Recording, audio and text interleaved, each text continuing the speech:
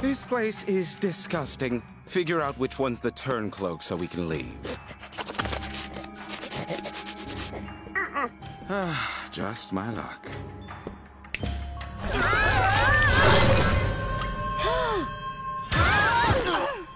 No. No. Not again! I was scheduled for some me time today, so hand yourself over before things get nasty. I know they can hear me. I know you can hear me! Heber, help me out here.